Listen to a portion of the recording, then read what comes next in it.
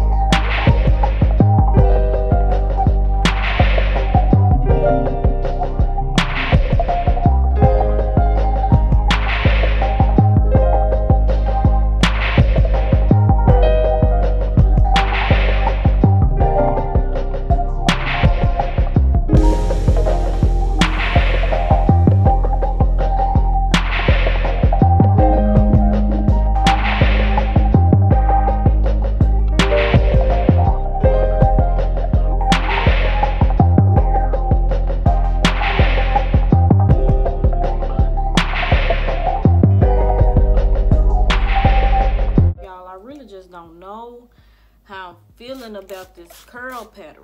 It's giving me too much natural vibes. I try to use weave to get away from my hair texture. I'm just not with it. I ain't got time to keep on wetting this hair and trying to define these curls.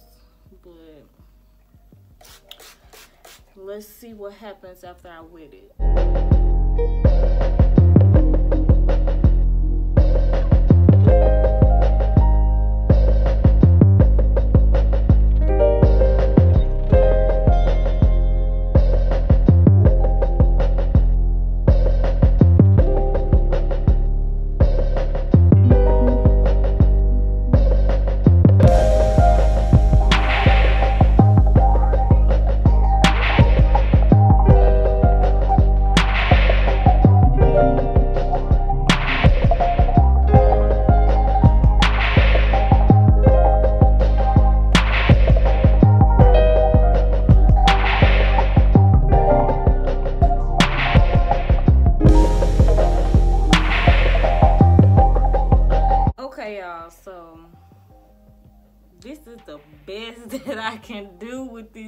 Wig because like I just don't know how y'all feeling this wig this curl pattern. Like let me know do y'all like this on me? Because I just feel like it's giving me um I just washed my hair vibes.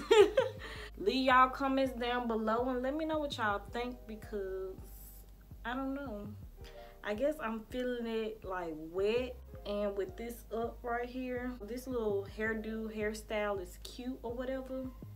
But let me know how y'all feel about this. This is very much different for me.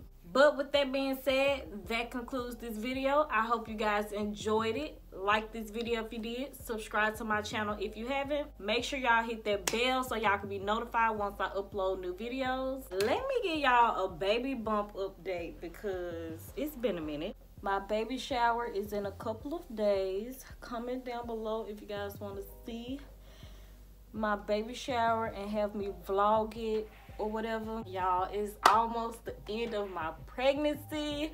I can't wait to meet my baby girl. What's up with y'all? Took so my little big. dress in. Yup. My baby bed subscribe to my baby channel. You know what i'm saying? Subscribe like watch share. Period. Goodbye. Thanks for watching. Brr. thank y'all for watching